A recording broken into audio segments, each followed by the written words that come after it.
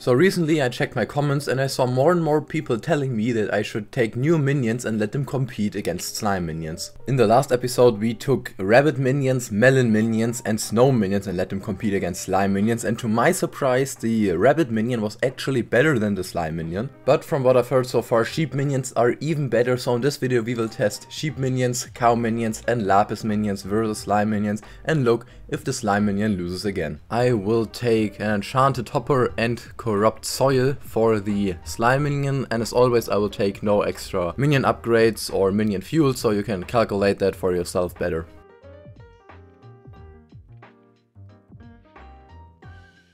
We will now wait for a few hours or a few days and then I will come back later. We are now two days, a bit over two days into the future. The minions were busy and I got a new texture pack. Look at that, look at that sun, look at that smile. And we will check which one of them made the most money. The slime minion has 344,000 coins in the hopper, but that is not everything. We will just empty that and then sell the sulfur and the slime balls to the bazaar and the rest of it to the NPC, aka to our trading menu.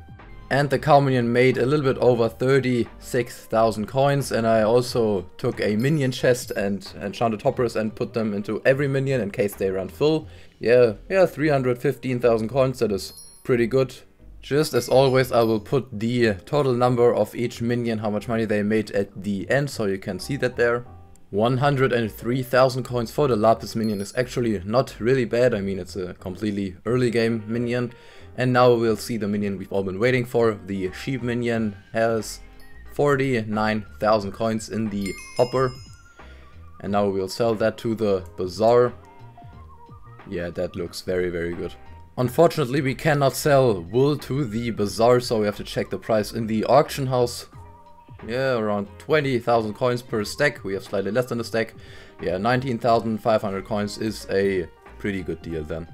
And as you can see right here, the slime minion lost two times against the sheep minion and the cow minion. The sheep minion made over 80,000 coins more. If you want to see more videos just like this, then click on this button right here. Otherwise, thank you for watching and I see you in the next one.